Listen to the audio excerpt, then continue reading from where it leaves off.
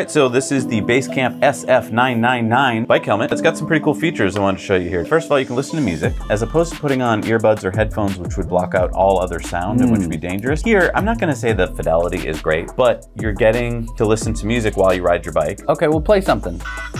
Does have the left and right. We saw the ocean yesterday. Not the So it's a little tinny, A little tinny, not a lot of bass. but you can hear me. yes, And you've got the volume up pretty high. this is all the way up. which we can turn down. Oh, okay. The other use case here would be this. You know, you want to bike to work, but also talk to your boss. You can do a phone call this way because the mic is there, the speakers are there. Mm-hmm. And what's kind of interesting is normally you don't listen with both ears when you're doing a, a phone call. So it's, Right. it's actually pretty nice. Well, and especially on a bike. On a bike, you're gonna be like, "Hi, I'm, I'm on a bike. I'm gonna die."